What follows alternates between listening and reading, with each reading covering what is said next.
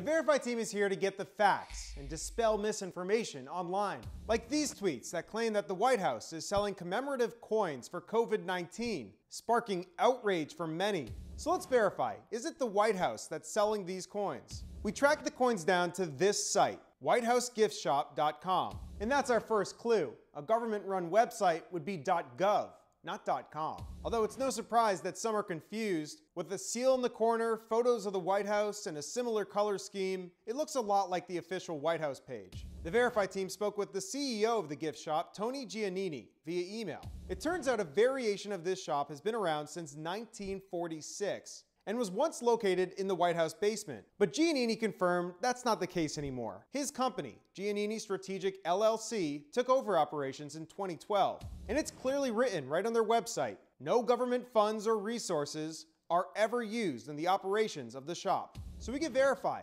false. The White House is not selling COVID 19 commemorative coins it's a private company. By the way, Giannini tells me they've already sold nearly a thousand of those coins, netting about $100,000. He says he's going to personally match every dollar with all the money going to the CDC Foundation and the Johns Hopkins Kimmel Cancer Center. Now, if you have something that you want verified, just send it our way at verify at WUSA9.com.